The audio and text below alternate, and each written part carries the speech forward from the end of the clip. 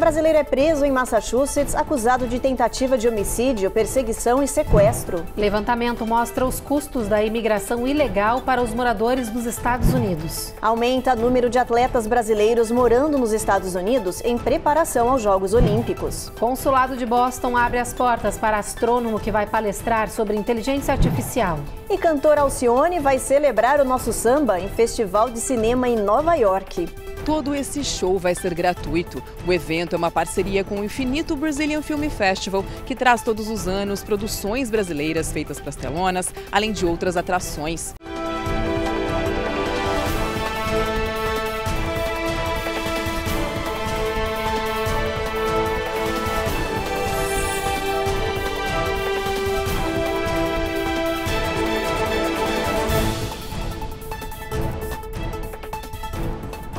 Boa noite.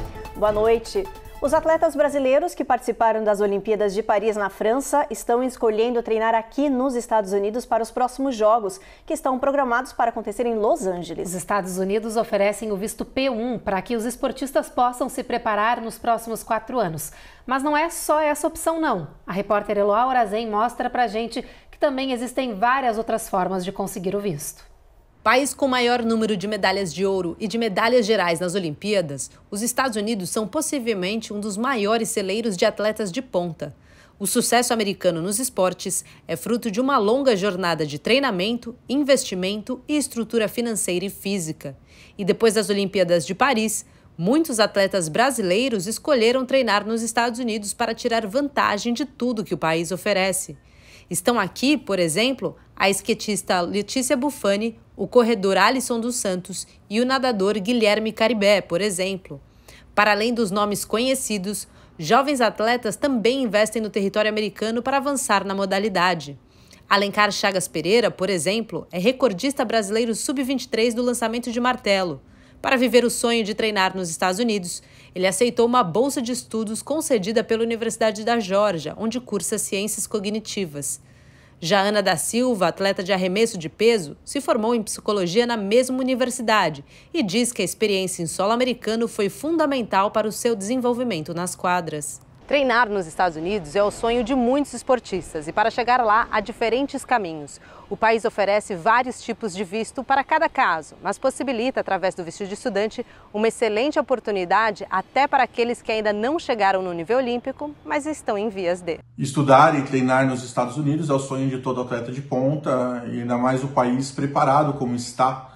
É, e o país oferece hoje muitas portas de entrada a mais comum utilizada pelos atletas é o visto P1, né, onde tem alguns requisitos a serem cumpridos, como, por exemplo, ter o atleta participado de competições nacionais ou internacionais, ter obtido altas colocações ou até mesmo ter recebido algum tipo de premiação de excelência dentro da sua área de desporto. É, outros vistos também estão disponíveis, como por exemplo o EB1, o EB2NW, mas esses são dedicados já a atletas que são reconhecidos internacionalmente em suas carreiras, visto que são para profissionais de habilidades extraordinárias. E nós temos também o visto F1, que é o visto de estudante, onde o atleta em início de carreira uh, pode buscar uma bolsa de estudos e também obter o seu treinamento aqui nos Estados Unidos e futuramente se qualificar para um outro visto. Nova York teve uma noite de gala com premiação de profissionais de diferentes setores e de variados países. E entre os homenageados estava um advogado brasileiro. Vinícius Bicalho recebeu o troféu Top of Business pela atuação nas causas migratórias aqui nos Estados Unidos, também em Portugal e no Brasil. A premiação é realizada anualmente pelo International Business Institute, em reconhecimento, claro, aos profissionais de destaque. Esta é a 16ª edição da premiação do Instituto que investe em conhecimento, liderança e incentiva a capacitação da comunidade empresarial internacional. O advogado Bicalho mandou uma mensagem para a gente, olha só. Por trás, naturalmente, dos sorrisos, das black box, é, das fotos com o Green Card, existe um, um time abnegado e que trabalha duro, vivendo o sonho dos nossos clientes. Então, eu fico muito feliz de, durante 22 anos, a gente poder construir essa história e, em alguns momentos, poder celebrar o nosso trabalho. O Consulado Geral do Brasil em Boston vai promover amanhã um encontro especial na sua sede. O renomado astrônomo brasileiro Marcelo Gleiser vai estar ensinando sobre ciências, astro, universo e muito mais. A Giovanna Locatelli tem as informações para gente. O tema do encontro será inteligência artificial, meio ambiente e ciência no Brasil. O doutor Marcelo Gleiser é um dos intelectuais públicos de maior impacto no pensamento contemporâneo brasileiro e mundial. Professor titular de Física e Astronomia do Dartmouth College, em Massachusetts, com doutorado pelo King's College em Londres. O astrônomo brasileiro também é autor de centenas de artigos especializados e milhares de ensaios publicados, desde o New York Times até revistas infantis. Marcelo Gleiser tem no histórico inúmeros reconhecimentos, como o Prêmio Templeton. As pesquisas de Marcelo Gleiser têm sido fundamentais para a compreensão da formação e evolução do universo e para o acesso geral do público à ciência. As inscrições para o evento presencial se esgotaram em pouco tempo, mas o encontro será transmitido ao vivo pelos canais do Instagram e do YouTube do Consulado de Boston. Para acompanhar, basta acessar cg.boston. A seguir, brasileiro é preso em Massachusetts acusado de tentativa de homicídio, perseguição e sequestro. E levantamento mostra os custos da imigração ilegal para os moradores nos Estados Unidos.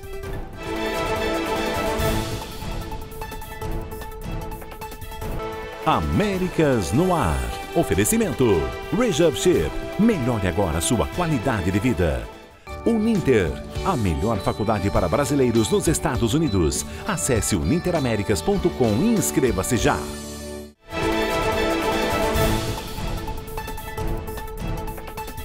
O setor de remoções da imigração norte-americana anunciou a prisão de um brasileiro acusado de tentativa de homicídio, perseguição e sequestro. Os crimes foram cometidos em Massachusetts e o brasileiro preso neste mês. Como ele é um imigrante legal, o caso passou para o ICE, que agora vai solicitar a deportação do homem. O Serviço de Imigração e Alfândega dos Estados Unidos prendeu o cidadão brasileiro que foi acusado de cometer vários crimes violentos em Massachusetts. Em um comunicado à imprensa, o ICE, que não revelou foto do detido, disse que Evandro Ribeiro Rosa, de 33 anos, está sob custódia do governo desde o dia 12 de agosto.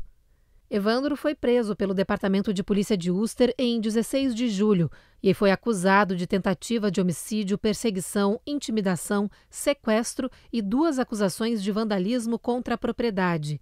A polícia não divulgou mais detalhes sobre o caso. Disse apenas que, como o brasileiro é um imigrante ilegal, foi entregue às autoridades do ICE que vão solicitar a deportação do brasileiro. Dados do governo mostram que Evandro entrou nos Estados Unidos em 2021 perto de Nogales, no Arizona, e se entregou para os agentes da patrulha de fronteira, recebendo o direito de aguardar o pedido de asilo em liberdade. Desde então, o brasileiro estaria morando em Massachusetts. Agora, após ser denunciado pelos crimes e detido pela polícia, vai seguir em uma prisão do ICE até que a data de sua extradição seja expedida por um juiz de imigração. O Hero de Boston disse que continuará a priorizar a segurança pública, prendendo e removendo criminosos estrangeiros da Nova Inglaterra. Mudando de assunto, o aumento recorde da imigração ilegal aqui nos Estados Unidos pode custar caro para o bolso da população que vive aqui. A gente está falando de bilhões de dólares, segundo um levantamento recente feito pela Federação para a Reforma da Imigração Norte-Americana. Todo dia, cerca de milhares de indocumentados estão chegando nos Estados Unidos pela fronteira sul. Desde o início do governo Biden em 2021, mais de 3,3 milhões de imigrantes sem status entraram no país. Esse número recorde está sobrecarregando os sistemas norte-americanos de abrigos, saúde educação em diferentes regiões, e isso está custando caro para os contribuintes. A Flórida, Califórnia, Nova York estão entre os estados que registraram um aumento de imigrantes sem status. Segundo a FAIR, Federação para a Reforma da Imigração Americana, o custo líquido da imigração ilegal para os governos federal, estadual e municipal somados é de pelo menos 150 bilhões de dólares. Isso significa, segundo esse levantamento, que cada contribuinte nos Estados Unidos paga cerca de 1.156 dólares por ano para sustentar os imigrantes indocumentados. Isso inclui gastos com infraestrutura aos estrangeiros recém-chegados e também o aumento de serviços públicos para atender essa alta demanda, incluindo mais policiais e maior fiscalização. O estudo também apontou que os indocumentados que pagam impostos cobrem apenas um sexto dos custos fiscais negativos gerados nos Estados Unidos. De fato, essa pesquisa mostra o que muita gente já sabia, que é que o descontrole na segurança da fronteira sul, ou seja, muitas vezes na fronteira do México, está trazendo consequências para a infraestrutura americana. E isso, de fato, vai alimentar esse sentimento anti-imigrante que vem tomando conta de grande parte das pessoas que vão votar nessa próxima eleição.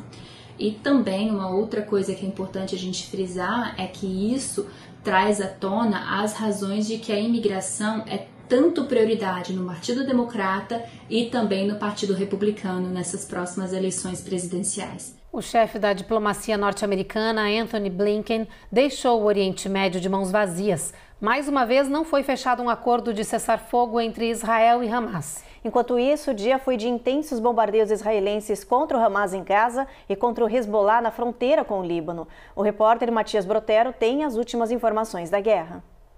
As forças de defesa israelenses reivindicaram hoje um ataque aéreo que matou um dirigente do grupo terrorista Fatah no Líbano. O ataque aconteceu na cidade costeira de Sidon. O carro em que Khalil Makda estava ficou completamente queimado. Israel diz que ele trabalhava com a Guarda Revolucionária do Irã e com o Hezbollah.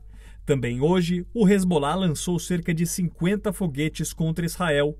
A pequena comunidade de Katzrin, no norte do país, amanheceu destruída. A chave para o fim dos ataques pode ser um acordo na faixa de Gaza. Publicamente, autoridades envolvidas nas negociações dizem que um acordo nunca esteve tão próximo, mas, segundo a imprensa americana, nos bastidores, oficiais acreditam que a proposta atual está à beira de colapsar por falta de consenso. Em meio ao impasse, o primeiro-ministro Benjamin Netanyahu disse hoje que Israel está pronto para qualquer cenário, tanto na defesa quanto no ataque.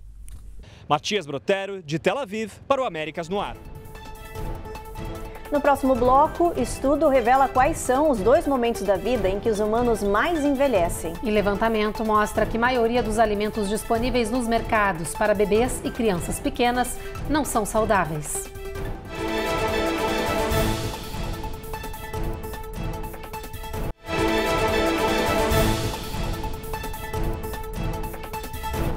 Novo estudo revelou que os seres humanos envelhecem dramaticamente em dois pontos chaves da vida. São aos 44 e 60 anos. A pesquisa fez essa descoberta e foi publicada na revista científica Nature Aging. Para muita gente, a idade é apenas um número, mas segundo a ciência, não é bem assim, ou pelo menos não para duas idades-chave ao longo da vida de uma pessoa é que os pesquisadores descobriram que, em um nível molecular, os seres humanos envelhecem fortemente em dois momentos, desmistificando um pouco da teoria de envelhecimento apenas gradual. As descobertas são baseadas em um estudo feito com mais de 100 pessoas ao longo de vários anos. E com isso foi possível perceber que a maioria das células do nosso corpo, incluindo proteínas e RNA, sofre mudança acelerada em duas fases, aos 44 e aos 60 anos. Uma das conclusões do estudo é que as pessoas que se aproximam dos 60 anos devem manter um controle mais cuidadoso sobre a ingestão de carboidratos e beber água o suficiente para maximizar as funções renais. Ainda falando de saúde, um novo estudo descobriu que quase dois terços dos alimentos para bebês vendidos nos supermercados não são saudáveis. A maioria dos produtos embalados não é nutritivo e possui várias irregularidades, como muito açúcar, muito sal ou até chumbo em excesso. 651 alimentos para crianças de 6 a 36 meses vendidos nos supermercados do país foram analisados pelos pesquisadores. O resultado surpreendeu especialistas, pediatras e os próprios consumidores. 25% dos produtos analisados não possuem as recomendações de calorias, 44% excedem os açúcares totais. Um em cada cinco produtos tem nível de sal ou chumbo acima do permitido. 70% não atendem às orientações sobre conteúdo de proteínas. Dos mais de 600 alimentos avaliados, 60% não cumprem as chamadas diretrizes básicas da Organização Mundial de Saúde para comidas infantis. Os especialistas descobriram também que os produtos enganam os consumidores. Eles não disponibilizam nos rótulos todos os ingredientes existentes.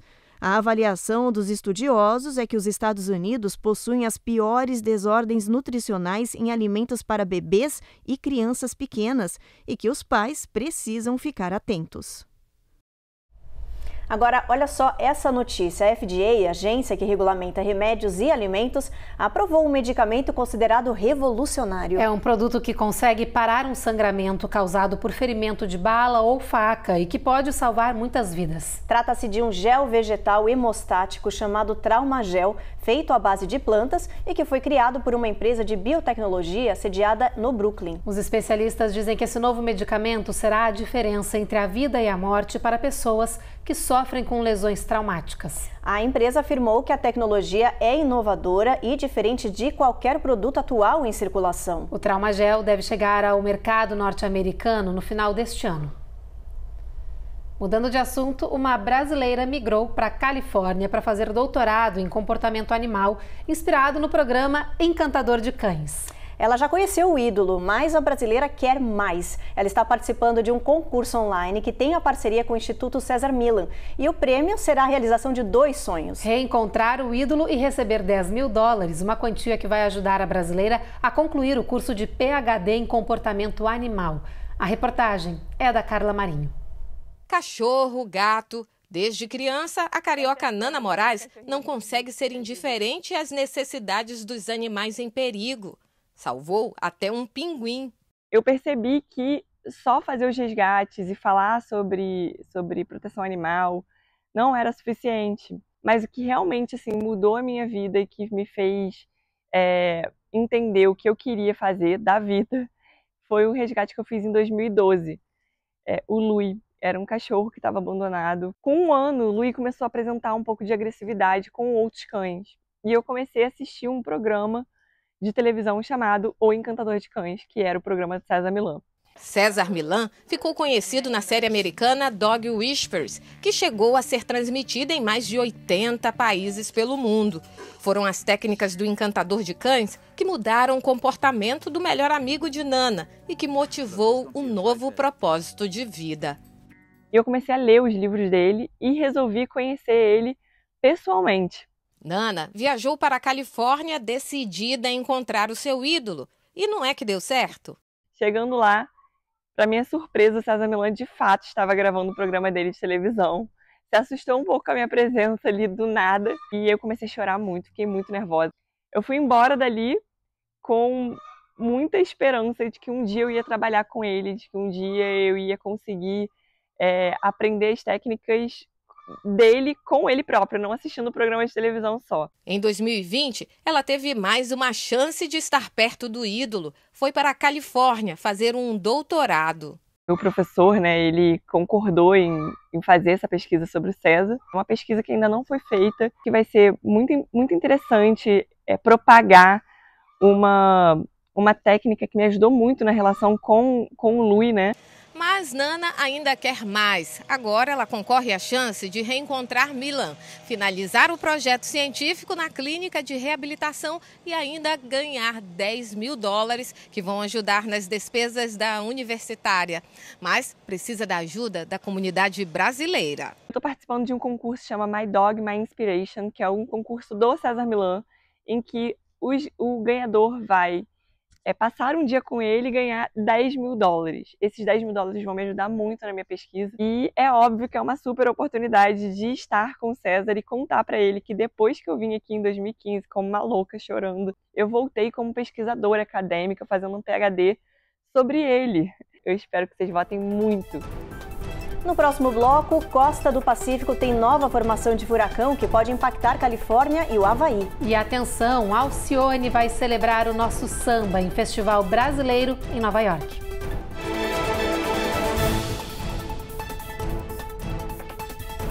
Américas no Ar. Oferecimento. Rejup Ship. Melhore agora sua qualidade de vida. Uninter. A melhor faculdade para brasileiros nos Estados Unidos. Acesse uninteraméricas.com e inscreva-se já.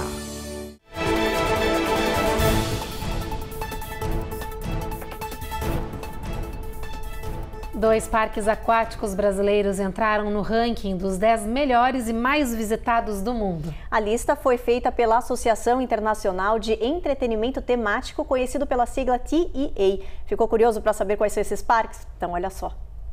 O Parque Brasileiro Termas dos Laranjais aparece em segundo lugar na lista, atrás do chinês Chimelong Water Park, que ficou no topo do ranking. Só no ano passado, esse parque brasileiro, localizado na cidade de Olímpia, em São Paulo, recebeu quase 2 milhões de visitantes, um aumento de 13% em relação ao ano anterior.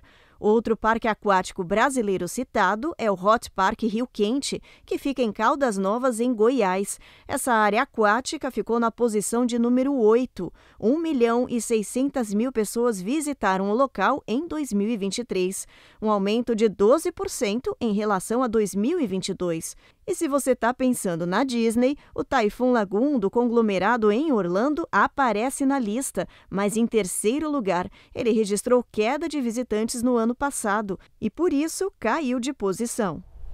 Na costa do Pacífico, uma formação que vinha sendo monitorada evoluiu e virou um furacão. Já é o segundo da temporada na costa oeste do país. E a expectativa dos meteorologistas é de que essa tempestade ganhe força e vire furacão categoria 3, isso nos próximos dias. Neste momento, como você vê nas imagens de satélite do Centro Nacional de Furacões, Guilma, como foi nomeada a tempestade, está localizada a cerca de 900 milhas da península de Barra Califórnia, no México. Ainda como categoria 1, Guilma está com ventos máximos sustentados de 85 milhas por hora. A tempestade segue sendo monitorada pelas autoridades, mas por enquanto não há motivos de alerta. A previsão é de que a tempestade se mantenha no oceano e que até o final desta semana cause impactos com chuvas fortes às regiões como o sul da Califórnia e também para o Havaí. Vamos aproveitar, dar uma olhadinha no nosso mapa, ver a previsão do tempo para amanhã em boa parte aqui do país. A gente começa com Boston, com o tempo encoberto, mínima de 59 máxima de 73. Nova York e Washington, a gente mantém esse tempo aí com sol entre nuvens. Atlanta, a gente já tem previsão de pancada de chuva ao longo do dia. Essa pancada de chuva segue para Flórida, Miami, Tampa, Jacksonville, a máxima nessa área é de 91 graus. New Orleans, a gente tem tempo encoberto. Houston, sol entre nuvens também, com máxima de 98, Evelyn. 98 de máxima também em Brownsville, em San Antônio, sobe um pouco mais a temperatura, 106.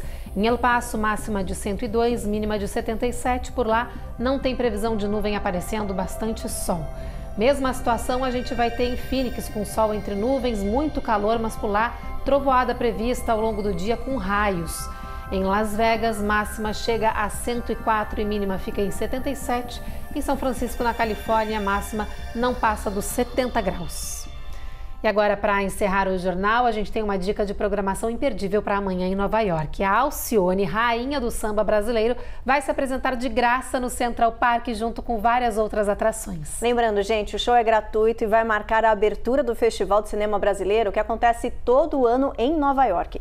A repórter Carolina Camargo tem os detalhes para gente. Quando as minhas pernas não puderem aguentar, levar meu corpo junto com meu samba. Amanhã à noite, esse vozeirão vai ecoar pelos quatro cantos de um dos parques mais famosos do mundo. Com mais de 50 anos de carreira, a cantora Alcione vai se apresentar pela primeira vez no Central Park, em Nova York. Alô, galera de Nova York! No dia 22 de agosto eu estarei com todos vocês aí no Summer Stage Festival. Me aguardem. Pude brincar com o coração.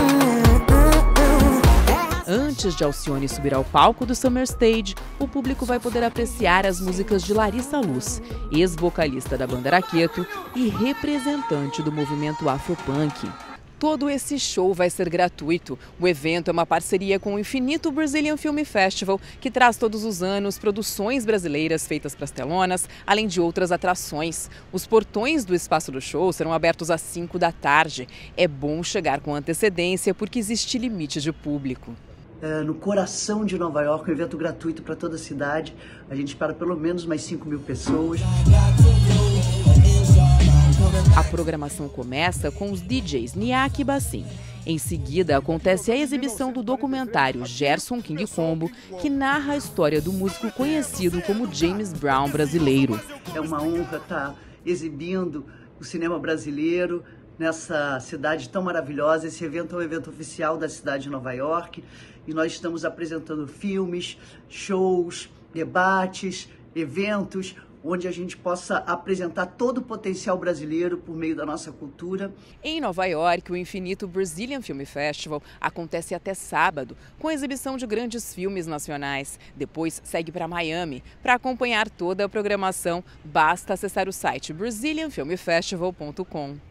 Bom, fica aí a dica, né, Evelyn? E dica boa, já pensou a Alcione no Central Park, gente? Não dá pra perder, né? Eu acostumada a ouvir a Alcione fazendo faxina.